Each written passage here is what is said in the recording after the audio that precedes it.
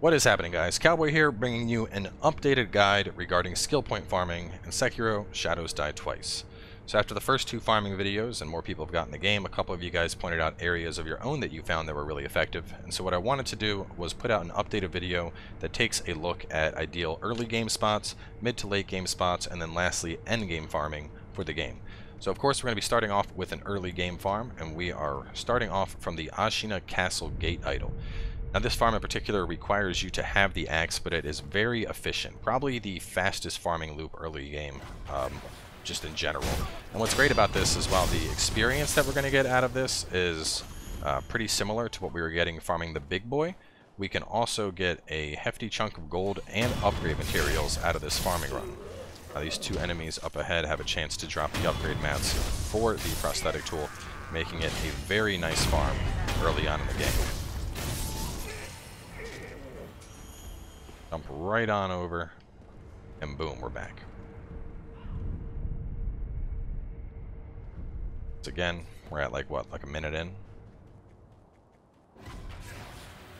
You can consistently get up and hit this guy with the running attack before he's able to actually shoot. First one, just run on up. The only one I found that's a little bit finicky here is this guy over here. Depending on how much he has moved, you might not one-shot him with the axe.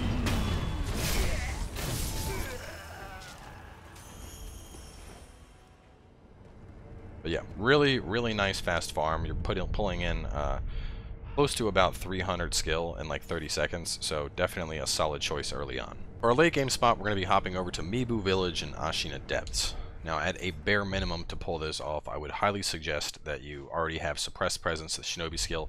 If you have this, the one that deafens your footprints, that helps even more, but otherwise, go on over here towards this enemy, and as soon as the icon shows up, Stealth, what you're going to want to do is you need to hug this wall as tight as you possibly can. And even though it looks like he'll see you, it never actually fills up.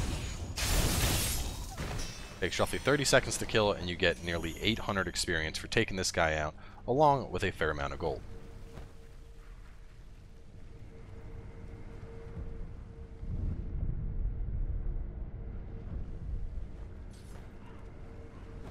Again, run along till he sees you, crouch, just hug the wall. As long as you're hugging the wall, looks like it's going to fill up, but it never actually does. That's the most important thing here. If you have the suppressed footsteps, you can even, uh, you don't have to be as sneaky, but otherwise, that's your go-to for as you move towards the late game and begin uh, your first real whack at the final bosses. Now for our final and end game farm, we're going to be going to the Sanctuary Idol in the Fountainhead Palace. And in particular, to make this farm as efficient as possible, you're going to want to have a Sabimaru at least upgraded to Piercing. This one is pretty easy. You're just going to run here, drop down off this tree, and then just go into the Sabimaru combo.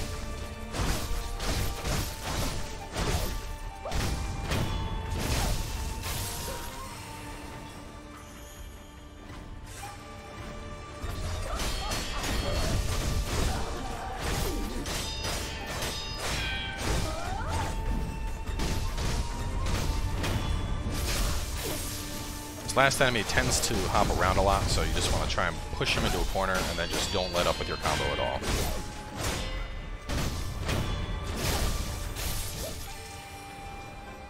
There you go. 3,000 plus experience in under a minute. Uh, out of all the different things to farm, I would say this is, without question, the most XP you're going to pull in. Uh, you know, I'm, I'm actually, this is post-game for me right now. Even post-game, I haven't found anything that compares to this saw right there, I was able to get a death blow for a split second. Uh, you can get one on this enemy, but I find that it's it's super inconsistent, which is why I just recommend using Sabimaru to just tear them up.